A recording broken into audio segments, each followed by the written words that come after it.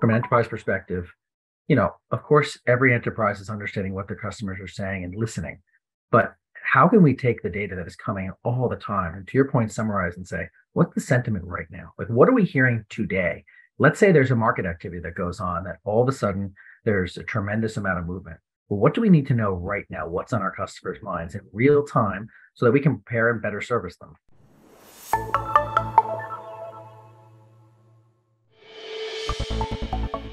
Nice to have you here. And I'm excited to talk to you about what's going on. So why don't you just tell people very briefly what you do at Prudential Financial? Yeah. Um, first of all, thanks for having me. Very exciting topic. Really excited to talk about this today. Um, so what I do at Prudential Financial is I lead a team of people and robots that do transactional work um, throughout all of our U.S. businesses uh, for almost every type of customer journey you could imagine, from the intake of, of new business all the way through claims. And so our purpose really is to put our people in the best position to win by blending machines and people to get the best outcomes. Awesome. Awesome. Okay. So when you first looked at generative AI, what got you excited and when was it?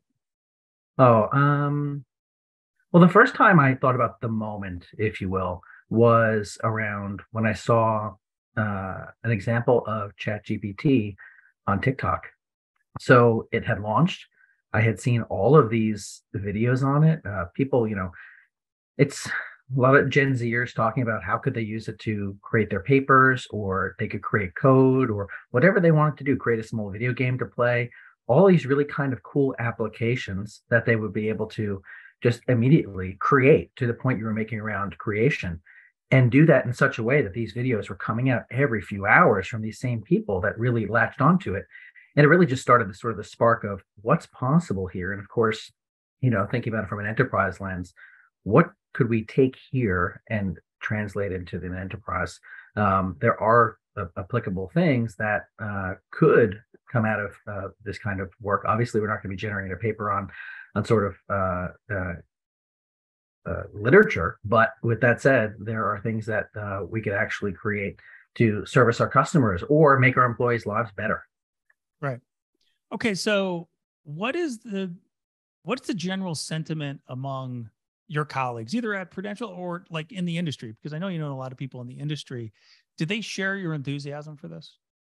I think everybody's excited about it. Everybody's like, wow, this is really cool.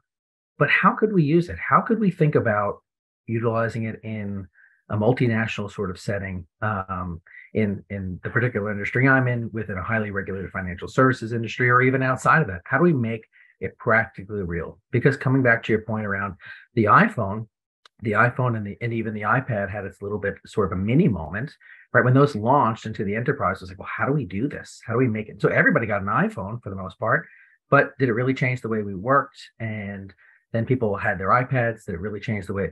Now, not many people have those, but this feels different. This feels much more applicable to the everyday in terms of how it is we could use it. But we just have to figure out how do we get started and then what's sort of the, the practical way forward to build incremental wins and also have a very bold vision about what could we really make a difference? How can we make a huge differentiator out of this for our particular businesses? Well, when you think about this practical idea, and I showed that little diagram, I said, you know, let's just like be simple. Let's be simple about it. Yeah. Companies are organized functionally. Mm-hmm. And each one of those areas has problems, or they and they have tools that do a certain amount of things and they don't do others. Like the RPA processes, a lot of times they're trying to automate a lot of those things. When you think about the functional areas and you tie it back to that practical application that you're talking about, like what stood out to you? What were you thinking about when I was talking through those ideas? So I was thinking about how do we blend the machine and the person to be hyper productive and to get to outcomes that we otherwise wouldn't. Sometimes it's just hard to get started on the new idea, the new project, or the deliverable.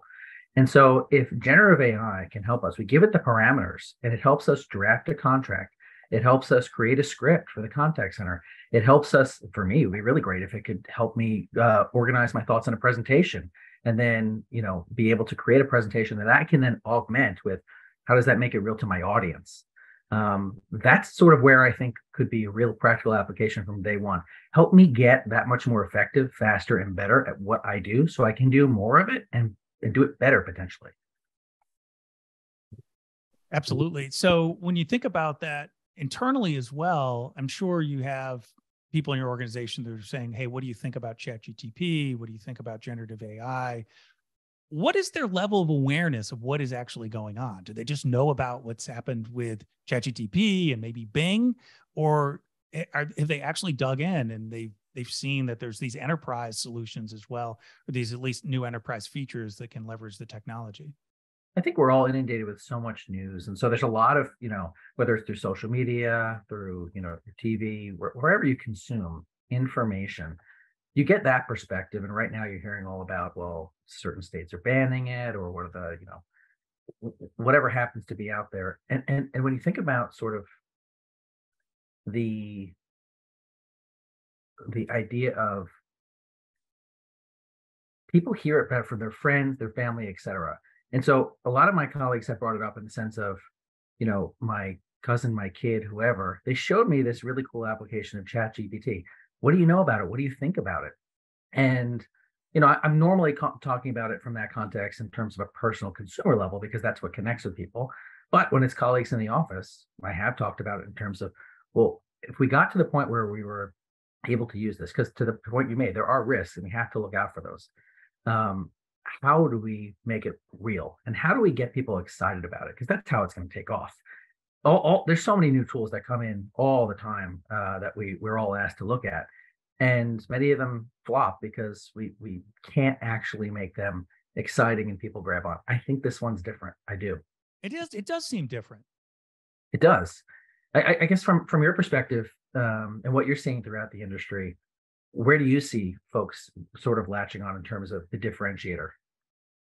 Uh, well, first of all, there's a rush to features, right? Yeah. So everyone feels like they need to have something in their arsenal where they're saying they're using generative AI or they're integrated yeah. with OpenAI. And so some of those are actually kind of mundane, um, but there are some that I think are really tremendous. So first of all, like I actually wrote something in Synthedia not long ago. There's basically five product categories that have already changed. Like one is just the writing assistants are actually very good. Those were some of the first ones to come out eh, that we're talking about not six months ago. We're talking about a year and a half ago. So they've had time to uh, to move along. I think search is really interesting and I'm particularly interested in summarization, which doesn't get this much that much conversation out there. People are excited about the generation aspect. I can create a new answer to a chatbot inquiry, you know, that type of thing. But one of the things that I think is underutilized is this idea of we actually have a lot of conversational data out there, unstructured data, uh, natural language data is probably the best way to say it. Uh, and actually getting information out of it is is hard. And so there's some ways you can do that through search, uh, but another way you can do it is through summarization. And the LLMs are actually unique in that. We've had some good tools for search. I think with the LLMs, they're better. Uh, we, we, we're up leveling, but for summarization, we just didn't have that. And I'm, I'm really excited about it. Yeah, absolutely. I think about from an enterprise perspective, you know, of course, every enterprise is understanding what their customers are saying and listening. But how can we take the data that is coming all the time and to your point, summarize and say, what's the sentiment right now? Like, what are we hearing today? Let's say there's a market activity that goes on that all of a sudden there's a tremendous amount of movement. Well, what do we need to know right now? What's on our customers' minds in real time so that we can prepare and better service them? Absolutely. Okay. So we're going to have to move on to our first presentation and demo. And that's one of the fun things that we have here today. But let me just ask you a question as we as we part. And uh, and I thank you for joining us here today. No, my pleasure. What have you not seen demonstrated that you think is really interesting that you would really like to see? Is there something oh. on your mind that, you know, beyond all the things that people have talked about or shown that you actually just haven't seen someone do this yet? That's an awesome question. Um, something that I would want to see that I have not yet seen demonstrated would be, I would say, it, so I come from an insurance background, right? And so, and I think about things in terms of underwriting claims, all that kind of good stuff. And so being able to sort of in real time gather all of the rest necessary data. Let's say someone is in a car accident and mm-hmm. or and they have it's a horrible time, right? No matter if it's minor or major, it's a it's huge inconvenience. How can someone take all of the different tools and c- communicate in a in a generative AI driven way between all of the pictures that can be sent back and forth, the data that is sent back and forth, all of the evidence that needs to be sent back and forth, et cetera, in real time. So you may not get your answer in terms of your particular claim at that moment, but can you have the satisfaction to know that I'm being taken care of? It's it's okay, right? I can deal with this, but from a, from a pure insurance lens, I don't have to worry about all this stuff because all of the technology around me is helping me be able to uh, make that sort of a reality in terms of the comfort level I have with the company that I'm interacting with. So uh, that's sort of the lens that I think about it in terms of an enterprise. How can I take all of this kind of really good, rich, sort of new technology and make it real so that it has impact around the world around us?